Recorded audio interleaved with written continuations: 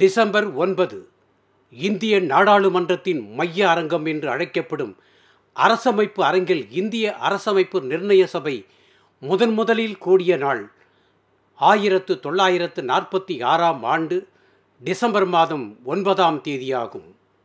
அந்த சபையில் ஒன்பது பெண்கள் உட்பட இருநூற்றி ஏழு உறுப்பினர்கள் கூடியிருந்தார்கள். காலை பதினோரு மணிக்கு தொடங்கி அந்த தொடக்க விழா அமர்வில் ஆச்சாரியா கிருபலானி அவர்கள் சபையின் தற்காலிக தலைவராக டெல்லியில் டாக்டர் சச்சிதானந்த சின்ஹா அவர்களை அறிமுகம் செய்து வைத்தார்.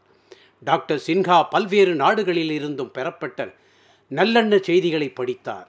அதன் பிறகு தொடக்க உரைக்கும் துணைத் தலைவர் நியமனத்திற்கு பின்னர் உறுப்பினர்கள் முறைப்படி தங்களை அறிமுகம் செய்து கொள்ளுமாறு தெரிவிக்கப்பட்டது. அன்று வருகை தந்திருந்த இருநூற்றி ஏழு உறுப்பினர்கள் அறிமுக கடிதங்களை அளித்த பின்பு பதிவேட்டில் கையொப்பமிட்டதும் முதல் நாள் கூட்ட நடவடிக்கைகள் முடிவடைந்தன. அகில இந்திய வானொலி நிலையம் அன்றைய நிகழ்வுகளின் முழுமையையும் ஒரு இணைப்பு ஒலிக்காட்சியாக ஒளிபரப்பியது.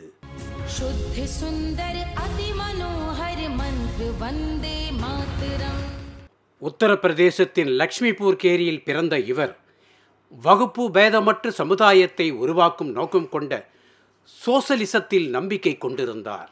ஆயிரத்து தொள்ளாயிரத்து நாற்பத்தி இரண்டாம் ஆண்டு வெள்ளையனே வெளியேறு இயக்கத்தின் போது பிரிட்டிஷ் நிறுவனங்களை அவரும் அவரது சகாக்களும் நடத்தினர்.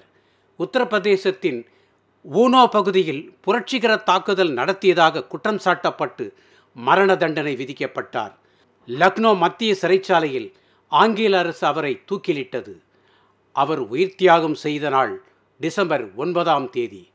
இன்குலாப் ஜிந்தாபாத் என்று அவரது உதடுகள் உச்சரித்தபடியே அவர் தூக்குமடைக்கு சென்றார் இந்திய விடுதலை போராட்ட வீரருக்கு நாம் வீர வணக்கம் செலுத்துவோம் நாம் இன்று வங்காளத்தைச் சேர்ந்த பெண்ணிய சிந்தனையாளர் எழுத்தாளர் கல்வியாளர் அரசியல் செயல்பாட்டாளர் ஆகிய பன்முக ஆற்றல் கொண்டவராக ரோக்கியோ ஷெகாவத் உசைன் அவர்களையும் நினைவு கூறுகிறோம் অবরোধ খোলা প্রতিরোধ তোলা লেখাপড়া শেখা খোলা মনে দেখা যেভাবে আপনি দেখেছেন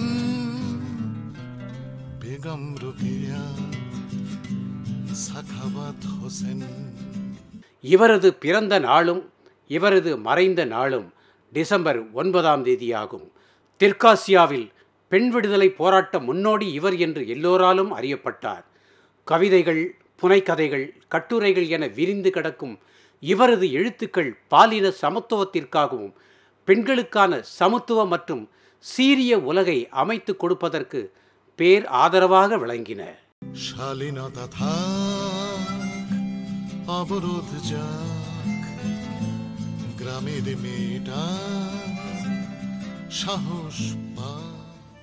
தற்போது வங்காளதேசத்தில் இருக்கும் வங்காள மாகாணத்தில் உள்ள ராங்பூர் மாவட்டத்தில் ஆயிரத்து எண்ணூற்று எண்பதாம் ஆண்டு பிறந்த இவர் அனைவராலும் பேசும் ரோக்கியோ என்று அன்புடன் அழைக்கப்பட்டார். மிகவும் சமய கட்டுப்பாடுள்ள சூழலில் வளர்ந்த இவர் தமது கணவர் மற்றும் சகோதரரின் மூலமாகவே விடுதலை உணர்வை பெற்றார்.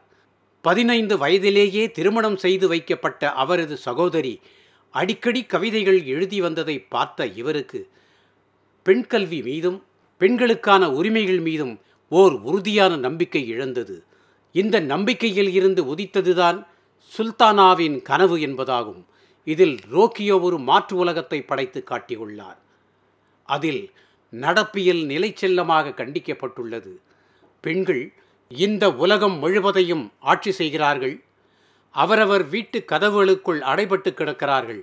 இதுவே இந்தியாவின் முதன் முதலில் எழுதப்பட்ட மிகச்சிறந்த பெண்ணிய அறிவியல் புனைக்கதையாகும். அவரது பிற படைப்புகளில் பத்மராக் என்பது தாமரை மலரின் வாசனை திரவம். இது வங்காள நாட்டு மனைவிகள் எதிர்கொள்ளும் துன்பங்களை சித்தரிக்கிறது. அபரோத பாசினி. இது கடும் பர்தா அணியும் பழக்கம் பெண்களின் வாழ்வையும் சுய கௌரவத்தையும் பாதிப்பதை உயிர்ப்புடன் தாக்கி எழுதப்பட்டது. ஆயிரத்து தொள்ளாயிரத்து பதினாறாம் ஆண்டு ரோக்கியோ முஸ்லிம் பெண்கள் சங்கத்தை முஸ்லிம் பெண்களின் கல்விக்காகவும் வேலை வாய்ப்புக்காகவும் நிறுவினார். ஆயிரத்து தொள்ளாயிரத்து இருபத்தி ஆறில் கொல்கத்தாவில் நடைபெற்ற வங்காள பெண்களின் கல்வி மாநாட்டிற்கு தலைமையேற்று நடத்தினார். இது பெண் கல்விக்கான உரிமைகளுக்கு ஆதரவாக பெண்களை ஒன்று திரட்டுவதற்கு முதன் முதலில் செய்யப்பட்ட மிக முக்கியமான முயற்சியாகும். ஆயிரத்து தொள்ளாயிரத்து முப்பத்தி இரண்டாம் ஆண்டு டிசம்பர் மாதம் ஒன்பதாம் நாள் இந்திய பெண்கள் மாநாட்டிற்கு தலைமை தாங்கி உரையாற்றிய சிறிது நேரத்திற்குள்ளே உயிர் துறந்தார். அவரது மறைவு வரையிலும் பெண் உரிமை மேம்பாட்டிற்காகவே தம்மை அர்ப்பணித்து கொண்டு வாழ்ந்தார். இந்த பெண் விடுதலை போராட்ட வீராங்கனைக்கு நாம் புகழ் வணக்கம் செலுத்துவோம்.